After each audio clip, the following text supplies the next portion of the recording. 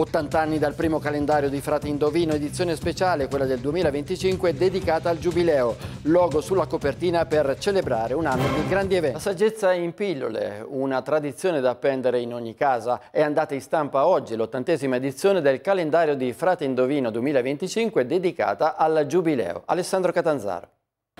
Quella 2025, che sta andando proprio ora alle stampe, è destinata ad essere un'edizione davvero speciale del calendario di Frate Indovino non solo perché è dedicata al Giubileo, ma anche perché ricorrono 80 anni dal primo lunario di Frate Indovino uscito nel 1946. In quel momento, nell'immediato dopoguerra, ovunque vi erano lutti e rovine, ma come la gente di allora si rimboccò le maniche per mettere in moto la ricostruzione del bel paese, anche i frati cappuccini umbri, al seguito di padre Mariangelo da Cerqueto, diedero il via a un'incredibile avventura editoriale che nessuno avrebbe potuto prevedere. Oggi l'almanacco ha una diffusione di oltre 2 milioni di copie. Il nostro nonno di casa ormai, compie 80 anni e, e quindi abbiamo voluto dare risalto anche con un, un, piccolo logo sulla copertina del calendario a, questa, a, questo evento, a questo giubileo nel giubileo. Il calendario è concentrato su, sull'anno santo e quindi per i 12 mesi, ogni mese da gennaio a dicembre viene sviluppato un particolare tema con delle illustrazioni attinenti al tema